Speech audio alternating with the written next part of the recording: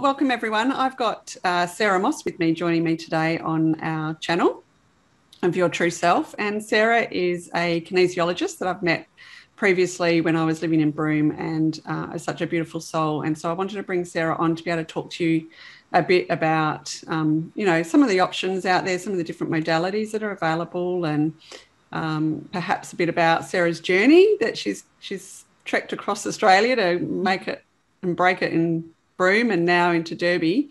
Um, so yeah, welcome Sarah. Thanks for coming on. Thank you, Deb. So Sarah, I met you what a couple of years ago, is it already? Yes, I moved to Broome in February 2019, maybe. 2019. Yeah. Okay. Yeah, that sounds about right. So. Yeah. Um, and you know you've done some amazing work with your kinesiology. And i know that you've come from an interesting background and you had a bit of a gap year and made it to mm-hmm. broome all on your own. And um, so yeah i just thought it'd be really interesting to see how and why you did that and and how you got through all those changes in life and you've yeah and just some of the interesting stuff that you've done. Well i don't think i'm particularly interesting but um but it, it, all came about. Like my youngest daughter finished grade 12 in 2018, and she was going to do a gap year on a cattle station in the Northern Territory. My eldest daughter had done a couple of years up here when she left school. And I don't know, I was just feeling in a bit of a rut in Toowoomba. I guess my marriage was getting a bit old and stale. So I thought I should, I was reading actually a Di Morrissey book about Broome. And I thought, oh my God, I love Broome maybe I should go there. So I had one voice on one shoulder saying, What a great idea. The other voice going, That is so irresponsible. you absolutely can't do that. My eldest daughter was going to go to America and study. And so I actually wasn't going to have any kids in Queensland. So I packed up my little car and um, my daughter drove her car to the territory, the station she was on. I drove my car with my kinesiology stuff and enough, well, as much as I could fit in really, which was not much um, and drove to Broome. And yeah, started there. I, the market research I did was I rang a massage therapist to ask if he had a room and did he think a kinesiologist would go well in Broome. and he said, if you're any good, it will. If you're not, it won't. So that was the extent of my market research. And I really didn't have anything to lose because if I hated it, Mm. I could just do a U turn and travel five and a half thousand kilometres back. So, how did you actually so decide which voice I've loved Broome. It's been a well. I think my irresponsible voice convinced my responsible voice that I really had nothing to lose by doing it except 11,000 Ks driving if it didn't work out. Okay. So I just did it. And then I remember got to the mangrove because we set Niels up on her station, Avern, over a few days and she drove with me to Broome and we went to the mangrove and then it hit me and I went, oh my God, what have I done? I'm living in a town where I don't know a soul, far out. And I remember bursting into tears going, I'm absolutely insane. Um, and then I put Meals on the plane about a week later, and she flew back to Kununurra to start her her cattle station work, and I started working in Broome, and that was it. And I've, I've loved well nearly every minute. Of, I don't think anyone loves every minute of everything, but no, it's been fantastic. Um, and now I was renting a beautiful home, and the owner comes back for the wet season, uh, the dry season which meant I had to move out. And there's no rental properties in Broome. So I found a house in Derby and am still living in Boxland a little bit. Um, so yeah, here I am. Yeah, and I now have a lot more crap, and that doesn't all fit in my car anymore. so that's it's actually um, a really brave thing yes, to do. So, so here I am in Derby now. Wow. Yeah, I, I actually think it's really brave. Like, um, yeah, change can be scary, but if you weigh it up, what really have you got to lose? Hmm. Um, you know, if you've got a good fallback plan, and I could have just turned around and driven back to Queensland and, and things, but you know, there really wasn't anything to lose. I don't know. And and I think sometimes we're scared of demons, and I think as women too, we have an extra DNA strand to catastrophize. So we do the whole what if thing. What if I have no friends? What if I can't make a living? What if I can't do this? What if I can't. What if this happens? What if that happens? What if I get a flat tire? But you know what? You've got a spare tire. If things don't work out, you you know, I wasn't moving to Alaska or something, so there really wasn't that much risk. And I am a um, I am a I love strategy and analysing things and really when I was sensible, there really wasn't that much of a risk. The worst thing was that I, I I had a holiday in Broome and drove back. Yeah, yeah. And so, how did you actually make that kind of break as well? You know, a lot of people, if they've been in a marriage for a long time, and they that can be quite confronting to have to leave that. How did how did you feel that you kind of dealt with that or worked through that? Um, well, it was actually my husband that decided he didn't want to be married anymore. Okay. We were going down two completely different life paths. He was completely passionate, and his business was his probably main love in his life. And I kept getting sucked into that business. My passion, kinesiology, was only a hobby. Mm. And I guess I didn't want to split things up while we had kids at school. Um, we still get on. He came over for Christmas to see the girls, and he actually ended up staying at my house in the spare room for a few nights. And mm-hmm. you know, so it's I don't know, just these some things just come to an end, and it just came to an end. Mm. Do you wish it came to an end earlier, like in the sense of, um, you know, with your, your girls and, um, you know, do you think it would have been better if you, I mean, not that you can change the past, but do you reckon it would have been better to go earlier or you think it's really, you, you kind of went with the way I don't know. the universe works out? I don't know. It's a, it's a really hard one. I, I came from a, I came from a broken family Mm. and that was back in the 70s. Divorce was really, really rare back then. And, and you know, so were gay people. And, and I think people pointed out the gay people and they pointed out the girl from the divorced parents. You know, that's how odd it was.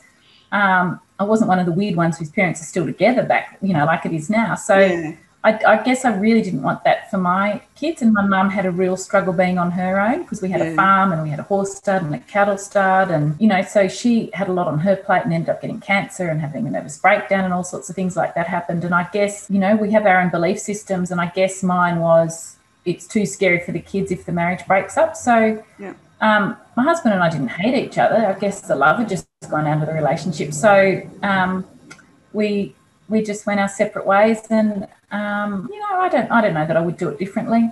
Yeah. Yeah. What can you do anyway? You can't really change it and you need to allow the I guess for me, I suppose the universe always gets it all the timing right, but it, you can do that as women, that what if, or maybe I should have done that, or so yeah. And so you Yeah. with so um so your passion was kinesiology. You went off and you because you you're a bit of a um, wild farm girl. You wrangled horses and done all sorts of so have your girls. So they've they've been able to do quite what would be out of the box for most yeah most women. Um, they're pretty do some pretty amazing stuff. So what brought you into kinesiology? Um, I actually got really really sick. I travelled through Indonesia in about 1989 or 90, and I ended up having getting salmonella, and kept travelling and drinking, which was actually probably not very smart.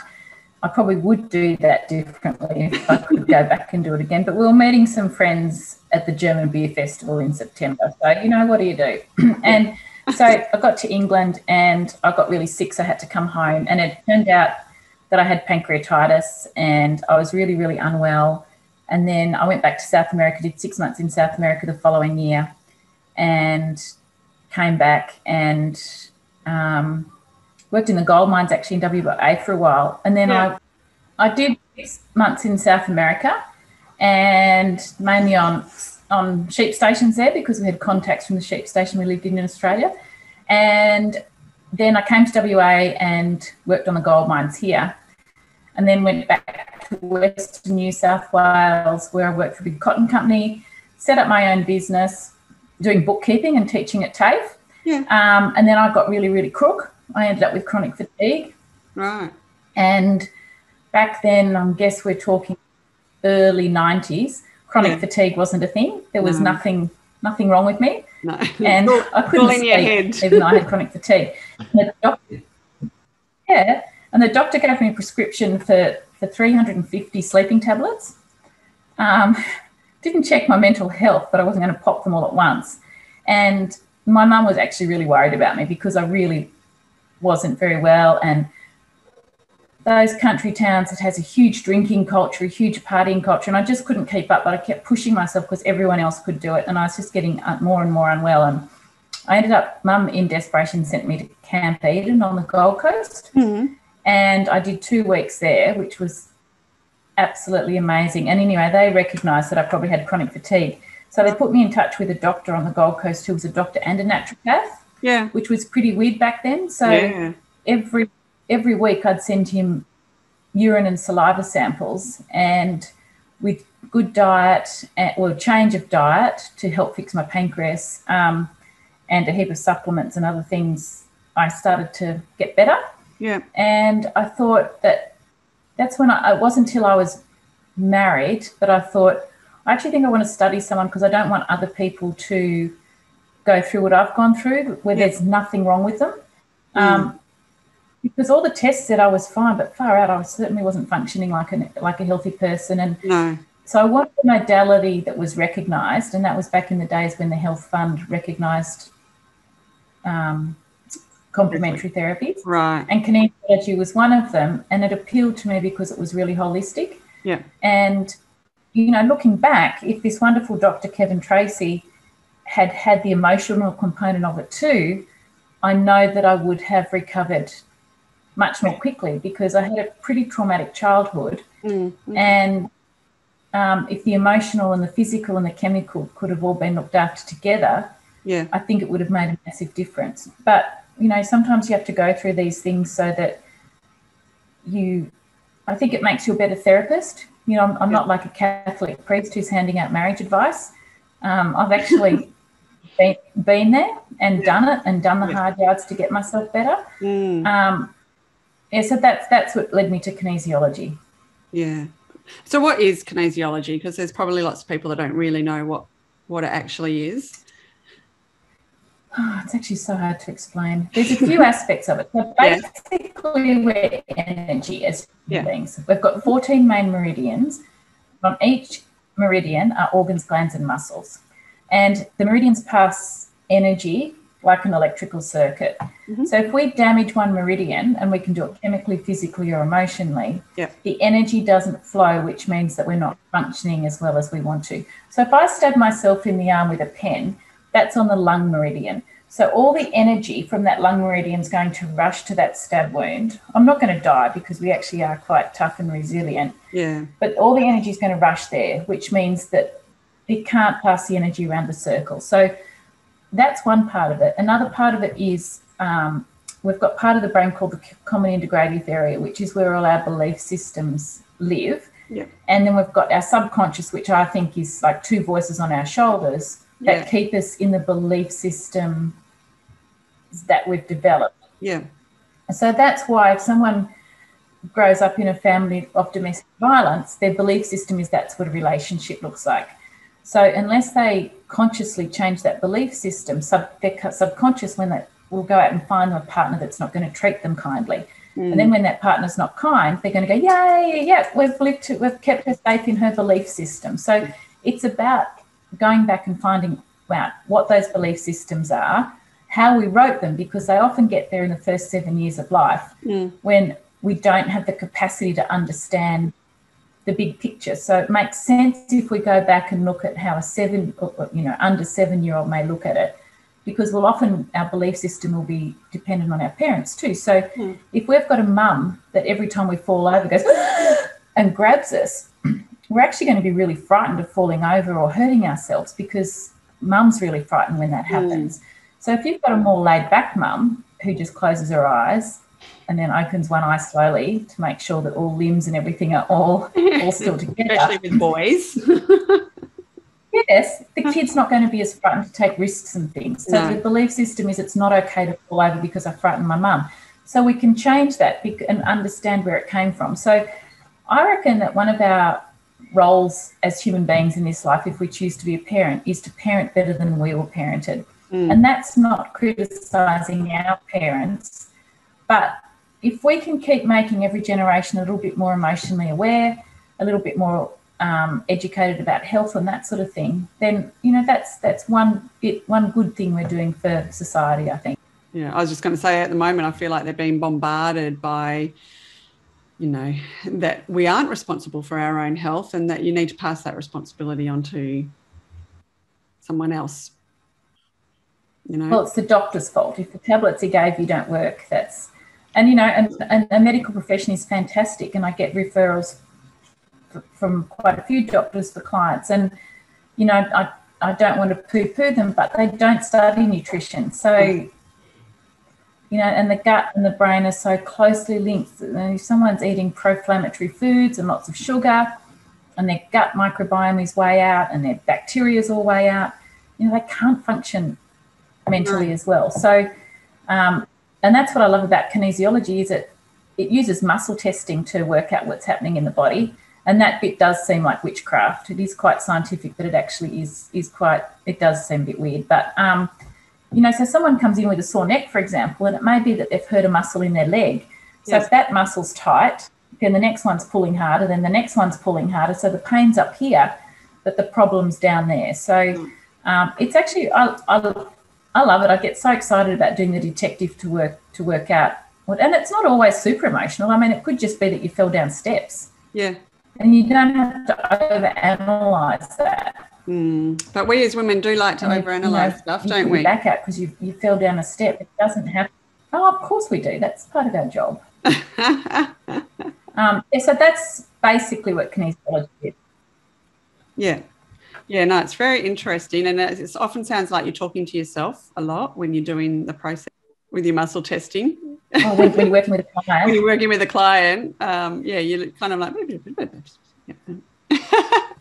every every client is a mirror in some way. It's actually quite scary. Yes, yes. Well, I, I think that that's the thing. Like, often we get people into our lives that are really mirroring us to try and maybe make us aware or teach teach us a lesson in some sort of way. So they often say someone that's in front of you is that mirror of you, and they're kind of there to yeah, kind of provide some sort of lesson in life.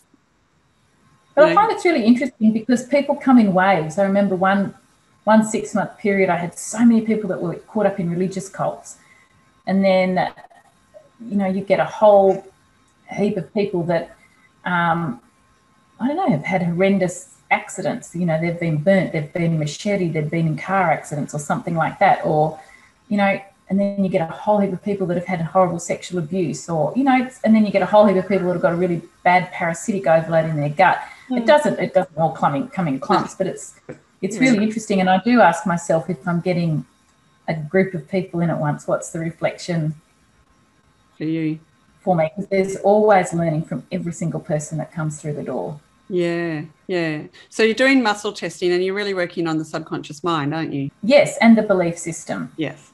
Yeah.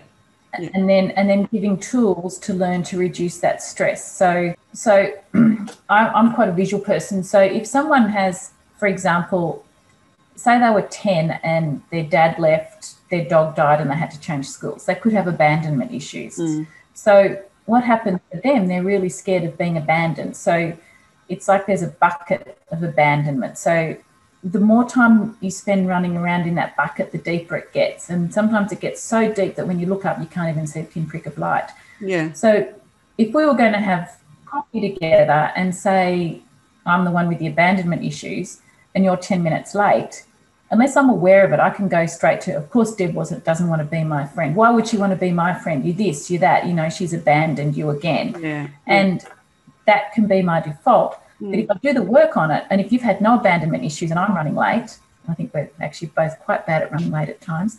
Um, that, um, that you might say, oh, that's right, she had a doctor's appointment, perhaps she's been kept waiting. Mm. Like you, you'll go straight to, I wonder if there's a reason. I might just check and make sure she's okay. Oh, that's right. She said the battery in a car was getting a bit dicky. Yeah. I'll just ring and see if she's okay or if she wants me to order the coffee. Um, so what we need to do is change the belief system that everyone's going to leave me. Mm. Um, and then when we can do that, the less time we spend in those buckets, the bottom of that bucket comes up. So if we do get back in it, it's only knee deep. And then we have the tools to choose to step out of that bucket instead of getting in so deep that we can't can't see our way, way out. Yeah. yeah. And it is hard. We've all been at the bottom of those buckets at times, and they're scary, and they're deep, and they're lonely, and they're horrible. Mm. Um, but when you can when you awareness heals so as soon as you become aware of what an old belief system and your habits around that are you can catch them before you get in too deep yeah and you can say that that's my old pattern i'm going to choose not to go there anymore Yeah, yeah. And do you do you reckon you kind of tend to find people coming to you?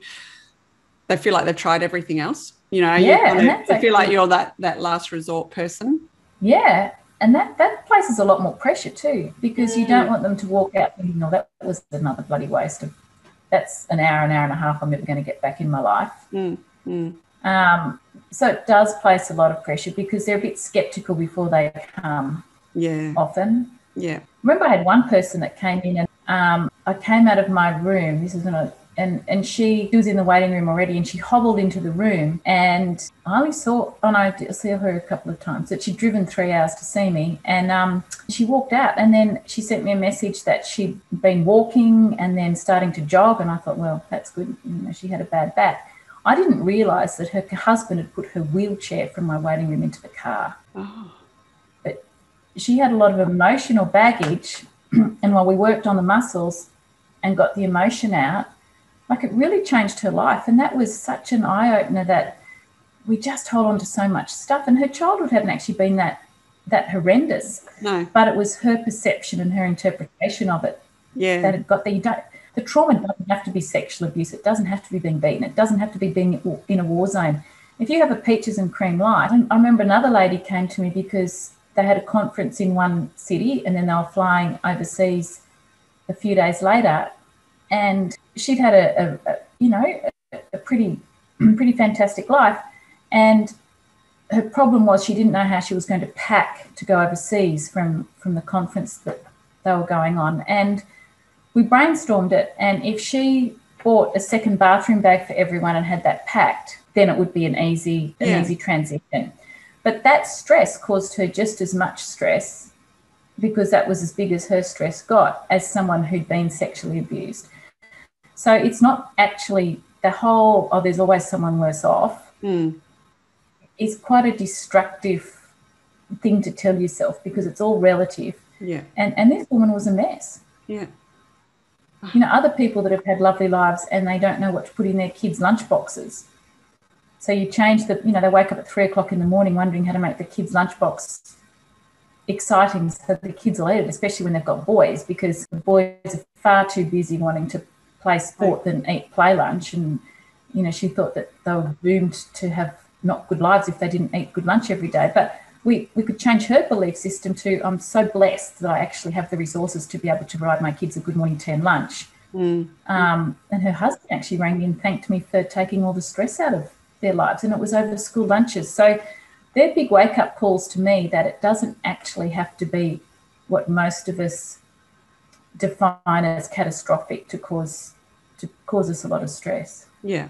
Yeah, and I think that you can see that often in the um, households where people have grown up with the same, you know, same parents, same same kind of lifestyle, same everything, but it's about the perception of what it is, you know, mm. um, and how you react to certain things that changes that whole idea of I was, you know, I had a terrible childhood, or you know, actually it wasn't that bad, and my parents weren't that mm. bad. And so you know that's how you can see the difference. No, no sibling is the same. And they the way they grow up is not the same even though they're right there. Well how often do you sit with your siblings and say oh gosh remember when that person came over and this and that happened? And guaranteed the other siblings will say no it didn't happen that way. They weren't there. No it wasn't may. It was december. And, and you'll all have a completely different picture. And i don't think the truth really matters. It's your perception of the truth Yes, yeah, and then that you know really ingrains into your whole belief pattern and your systems and your organs and um, and I, I, agree that this is where we should be looking at integrating so much more of our care is is to is that our belief patterns are often making us that sick you know that absolutely. And, and, and if you listen to bruce lipton and he talks about with his epigenetics and um, you know, he, he was the first guy to really start looking into um, stem cell therapy, and he's he realised it's actually the environment, and it's not necessarily just the the room environment that you're in, but it's the environment that mm-hmm. creates mm-hmm. disease, and most diseases aren't actually genetic as such. You know, like not you know DNA genetic. It's because the way I see it is that the gen, the genetics part comes in into the belief systems and that's why oh. it looks like it's coming through a family as a family pattern but it's because families have very similar beliefs patterns and you know they're I'm growing sure up. That, I'm sure that we do have miasms, you know, which is the wink, the weak link in the DNA chain. So if you come from a, a history of tuberculosis in the families, then your lung you're going to have lungs that aren't perhaps strong as someone who hasn't come from a tuberculosis background. So, you know, if you know that you come from that and you choose to smoke, it's probably not a really great decision. No. Yeah. Whereas if you've got really robust lungs, not that smoking's good for anyone, but you're going to tolerate that much better than someone that comes mm. from a weak yeah genetic yeah. so that you know that's um, impacting the environment you know you, have got that stimulus the environment mm. is the stimulus the smoking is the stimulus to create that disease there are you know a mm. small portion that are definitely passed through but not um, yeah and as, as he said and our mind is so powerful I, I remember reading that i think it was a harvard study where there was a bunch of doctors and they had studied hypothermia and um, there was a medical student who like all students, was broke, so he couldn't. Have, he didn't want to waste his money on the train, so he'd jump on a cargo. Then I, you know, not a person train every yeah, day. yeah, One day he jumped in a fridge van on the train, and they got to the other end, and when they opened the fridge pan, he was dead. And what they think has happened is that he's taken the hypothermia study that he's done that day. He's jumped in the train carriage, realised he's in a fridge pan. It was England, so it's cold anyway it wouldn't happen if you were in Broome. Um, and he's done the calculation on how, how much he weighs, um, how cold he thought it might have been in the fridge pan, and he was dead at the other end. And he was perfectly healthy when he hopped on that train. Jeez. Yeah, so sometimes a bit too much knowledge can be a problem. well, yeah, he talked himself into it. I don't know how mm. many um, med students actually, like it's quite notorious after, you know, going through nursing training that it was almost like they had Munchausen's because every disease they studied, they figured that that's what they had and it can be because you can't and so unless you and when you're quite fresh at it you're like oh i must have that until you can actually do that process of elimination of well no there's no way i could possibly have it because of this differential diagnosis process that you have to um, come up with what Absolutely. it actually is yeah And, and you find that with supplements, once you start getting into supplements, you're reading all the information about it and you go, oh, I think I did see a black spot in front of my eye the other day. Maybe I need that supplement too. Yes. So suddenly you're taking 4,000 supplements because your knee hurt last week. And yeah, one hair did snap. It must be brittle. So you must need more of this. So yeah, yeah. I think yeah. working in that can, can sometimes not be your best, best thing either. And so, how do you feel um, as a as a woman? Like, do you find that mostly women are coming to use this sort of you know modality, or is it a fairly even split, or does the husband have to come it's more, screaming? It's more women, but I am I do see a lot of men. I've got a lot of um, Veterans Affairs men at the moment with PTSD. Oh yeah. Um, men with bad backs that don't want to have surgery. They've been told that's the next step and especially you know the ones that have been bull riding fencing contractors for 40 years and they have a bad back um, sometimes we have to brush over the emotional component because they don't they're too manly to have emotions. Mm-hmm. so that's actually tricky trying to get their emotional stuff um, dealt with. Yeah. So I've, I've developed a few ways to to get into that that tough man psyche i suppose. Yeah. Because actually do have emotions, but yeah, God forbid you ever let anyone know that you have. So, mm. um, yeah, it is definitely more women, and I find that women are the barometer of the family anyway. So, if you if you help a mum, um, and I remember when I was first studying kinesiology, a very experienced person went to a conference or whatever and got up and talked. I went, "Oh my God, that's my daughter. I need to get her in to see him." And I went up to him in the break and said, Oh, you taking new new people? I've got a daughter, and you know what you've described is her. And he said, I don't work with kids. And I went, That's disappointing. And he said, Yeah, I find that in 90% of cases, if I fix the mum, the kid gets fixed. Interesting, isn't it? I thought, oh. Mm. Okay, that's not yeah. cool. Um, and it's actually true because if dad's in a bad mood at home, no one really seems to care that much. But if mum wakes up in a cow of a mood, the whole mm. house is walking on eggshells. Yeah. Yeah. Um, and if the mum decides she's going to look after herself, you know, and I don't like to stereotype, but you know, women are nurturers and, and, and men often aren't as nurturing. So if the woman starts looking after herself and starts looking after the kids, it seems to to flow more than if the dad decides he wants to go on some health kick. Yeah. Yeah, I agree. Agree. We we and we are really born. So we are the barometer of the family, and yeah. yeah. I mean that's why we have breasts and don't because you know they can't breastfeed as well as we can, and and and as much as some people want full on equality, I'm I, am i am not seeing in the near future men having babies or breastfeeding them. Mm. Um, these days we can never say never, but you know we've got to embrace that femininity and and that wisdom and you know women as women we're we're, we're so good at, at multitasking and having so many things happening in our mind and and, and it's interesting because the female organs are the heart um, the lungs all those ones that need to keep working and the male organs are the intestines and the bowel and all those sort of things, which is often why a man, when he mows the lawn, has to come in and sit down and have a break, which is kind of what the bowel does. Whereas the woman will finish the mowing and she'll realize that there's dirty towels on the back table when she comes in, so she'll walk them to the washing machine and then, you know, she'll just mm. keep going like the heart and the other female organs have to do. So we need to recognize those differences and celebrate them. It doesn't mm. mean that we're weaker. And Sarah Jessica, Par- Sarah Jessica Parker said, um, a woman trying to be a man is a waste of a really good woman. Yeah, I agree. And I think that this is, um, we are so different and we are meant to be different. Like, otherwise, why were we created differently? That's the way I see it.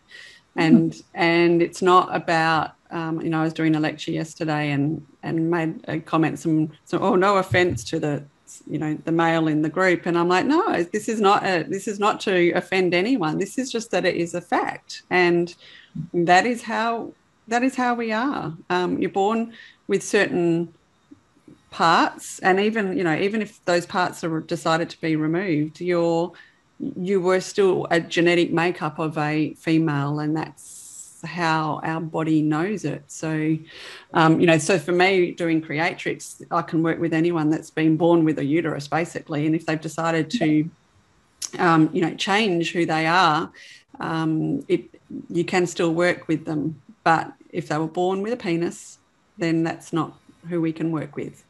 Um, even if you choose to have mm. that changed and become a female, you weren't born with a uterus. So it's, it's just every cell is made up in a, you know, every cell is different and it's there. So we need to work with that cell and that kind of that memory of that cell and the way we were born. So yeah, it's not meant to be about being um, yeah the equality we are different and and you know there's certain things there's no way i could do or would want to do compared to what my husband does you know it doesn't interest me. Well no and and, and it's interesting on the stations now and um you know when i was i was the only jillaroo with 10 boys and all that sort of stuff because it wasn't a girl's job and you know i did have to be able to lift heavy things and i did have to prove that i was as good at work that i could be equal. What wasn't taken into account but I might sit back for five minutes and say, okay, the tire's flat on the car. We don't have a jack. How are we going to fix it? Because the boys would rush in and they just lift it, you know, because they've got that strength. But mm. us girls would have to find a strategy. And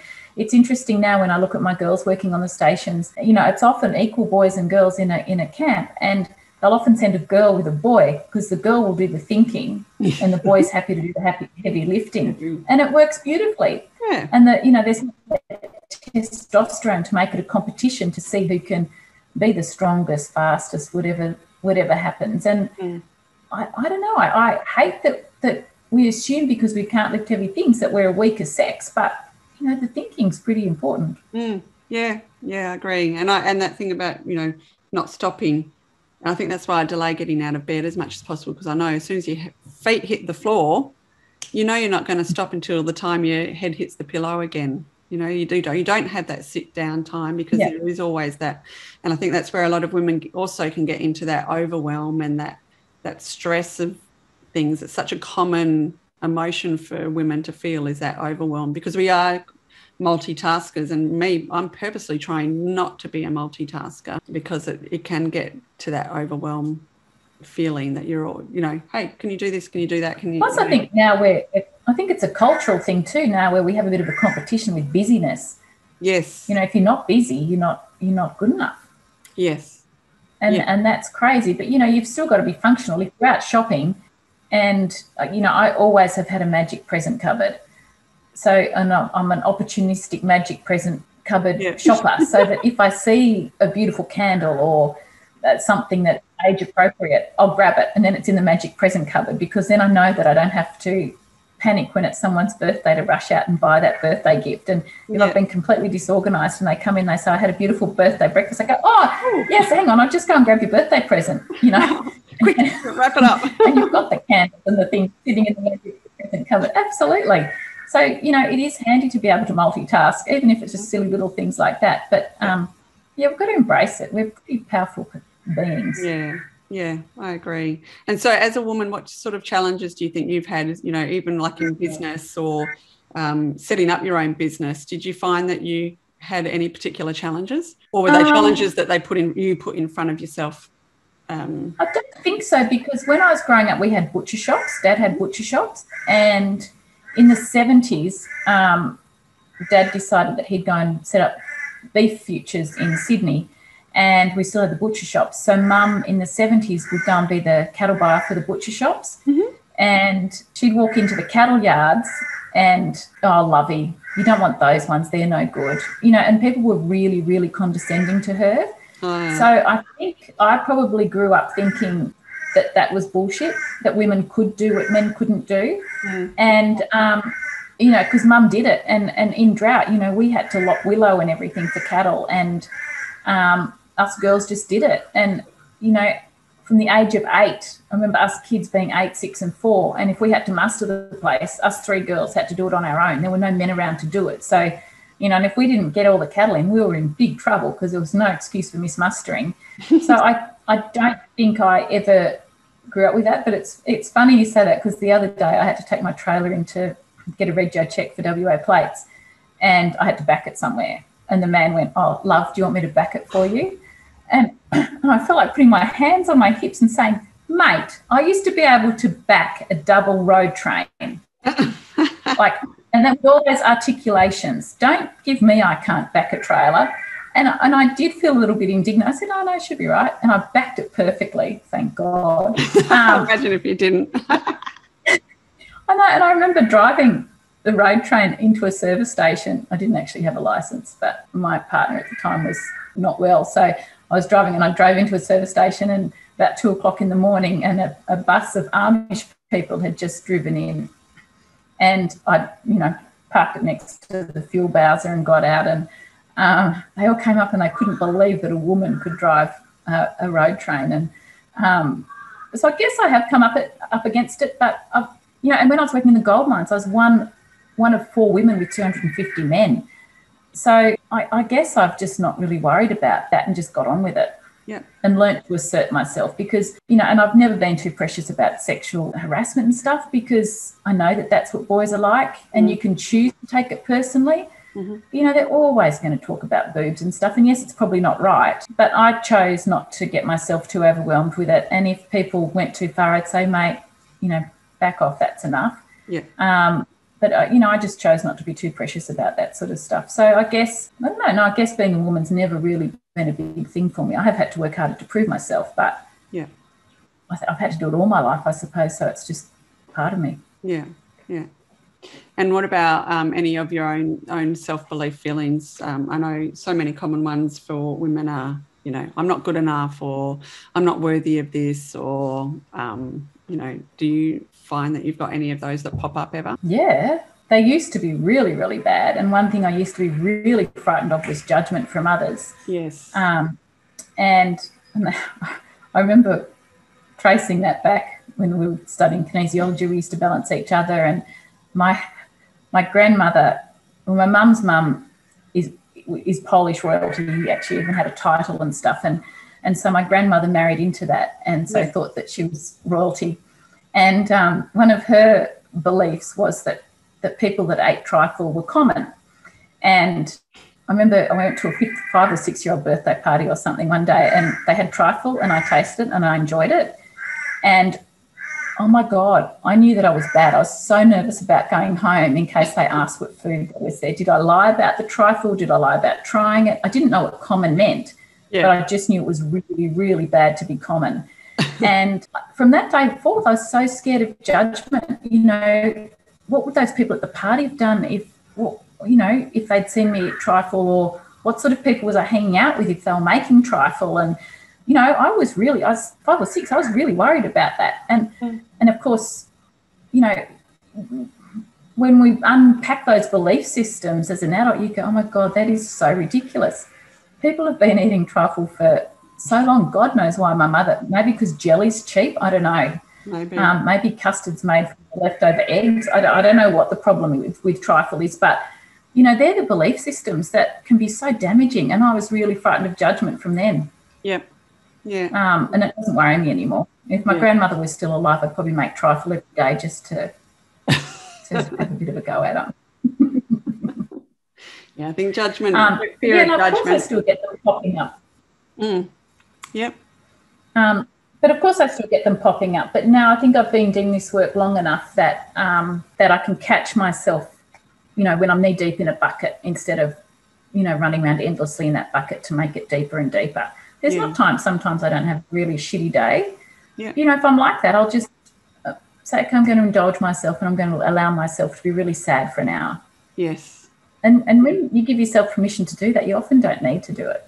Yeah. Yeah. I think and, and you've got that little, okay, I can do it. I've got my hour and actually now I'm gone. And I, I found that the other day for me. Um, and it's often around, you know, your cycle that and you I don't know why I want to cry all day, but I'm hmm. just gonna go with it. And the next day you're totally fine. And I think that's when you can be accepting of, you know, we do we are emotional beings. Females are emotional beings. We're designed to be, and our cycle influences that. And you can work with your cycle rather than against it. You know, um, we have Absolutely. different different times when we're you know more social we have different times when we can think more clearly we have different and so even like around businesses we can we can work our business around that okay well this is going to be the week that i'm you know going to contact all those people because next week or the week after i actually probably don't want to talk to anyone and and you know that can alter mm-hmm. your vibrational energy as well of how they're going to respond Absolutely. to you too yeah yeah mm. so and you, you know that whole syncing up of the cycle with females and you know i obviously don't have that issue in my house because we're all they're all boys but you know that's probably something that you experienced a bit with having girls in the house and um, that energy. Yeah, and absolutely, and just recognizing it. You know, even the moon. I I know that mm. you know everyone reacts differently around a moon and things too, and it's just taking everything into account and just I think just being gentle with yourself. Yeah. And you know, half the population has periods well, not all at once, but you know, and I'm so excited that the the Australian of the Year this year is is talking about that more openly because it's not a weakness to have a period. If we didn't have periods, we wouldn't be able to have children. And mm. you know, I don't know why we're so embarrassed about all that sort of stuff. And I think it's great now that I know that if I ever got my period at school, it was a secret and you'd never ask anyone for a pad or anything because how embarrassing that you yeah. had a period. Yeah. Whereas my girls now are so open about it yeah. Um, and and all the girls are, and I, I, I think that's really great. I do have a personal I, belief, though, in regards that I've just saw the other day that they're now making leggings designed to look like you've leached through. So I'm very yeah. open to let's share that we've got it, but I'm not sure I want leggings that look like I've totally leaked through and that whole crutch is now red. That no, might, no, might be a bit far. I think sometimes as humans we're pendulum swingers. You know, we like to hit one end of the pendulum when we like to hit the other before we can swing back in the middle. And I'd say that's on this end of the pendulum. yeah, it might be. Um, oh, that, yeah, that, that, I think that's taking it too far myself. yeah, maybe I'm being a little bit um, old and but what I did when, when my girls got their first period is we actually celebrated and I bought them a lovely pair of earrings and we went out for dinner mm. um, because it's the next phase of their life. And I didn't want to do the whole thing. Oh shit, that's it for 30 years. You're stuck now every month. You're going to lose a week of your life. You know, and I didn't want them to have that yeah. belief system. Yeah. Um, so we did. We, we all went out for a period dinner, and um, I bought the girls a nice pair of earrings to celebrate the next phase of their life. Not that I wanted them to go and have babies anytime soon, no. but um, you know, it was actually. I thought I'd take a completely different approach to it. Yeah, no, I like that approach. That's that sounds good. I won't ever have to worry about that, but um, Yeah, that's a great approach to take. We are we I celebrate that we're women, and I think that's wonderful. And I think maybe that's a great place to um, end. Period. Stop. uh, and just thank you very much for your time and joining me on your true self. And you know, you're such a woman of talent, and I just love the energy that around you. And I'm always grateful that you've entered my life and and um, able to join us here, even though we're my, thousands of kilometres away now from each other. no, well, and it has been lovely to to catch up with you too, Deb. And um, I'm also very grateful that that you guys popped into into my life those few years ago because I know that we'll be friends for a lot longer. Absolutely. Absolutely. Well, thank you for joining me, Sarah. And um, so, Sarah Moss, an amazing kinesiologist who's now residing in Derby, that you can um, contact, look up, and um, and I'm also doing online stuff now, so I don't. it doesn't need to be in person. Um, COVID has taught me that we can do Zoomy catch ups and sessions um, with just as much, with just as good a results as as in person. Brilliant. Okay, that's great. So men and women can go. Obviously, I'm a little bit uh, only with women, but um, doing creatrix, but our men also need help out there as well. That's for sure. Dealing with all sorts of things that are going on, and and just mentioning that there's you know to be able to even go and have any sort of mental health appointments these days is near on impossible, and often huge waiting lists, huge waiting lists. Um, you know, so. Uh, do consider the alternatives that are out there and that we are really working with our belief systems and that will, you know, when you can work with that and improve that, that's actually going to improve your life, you know, unbelievably. Yeah. And if we can all raise our vibration a little bit, then that raises the vibration of those around us, and then they can do the same. And, and you've got that beautiful multi level marketing plan where yeah. one person can change a heap. And um, yeah, and, and there's no joining fee. So that's an extra bonus as well. Yeah, brilliant, brilliant. That's. Mm. Yeah, a couple of you know notes of gratitude uh, at, at night time or in the morning is a great way to get your vibrational energy a little bit raised before you either go to sleep or start your day. It's, um, oh, there's so many tools, and that's a really important. So many. One. Yeah, yeah. Gratitude. Mm. You can't you can't be angry and cross or whatever when you're in gratitude. So that's a really good starting point. So yeah, thanks Sarah so much for joining us and enjoy your um, hot weather while I'm starting to get all rugged up again. I might just go and jump in the pool. Oh, I heard the crow in the background, and we're missing the geckos, but at the same time, we have to embrace what we've got now as well. All right, thanks so much for joining me. Okay. All right, bye.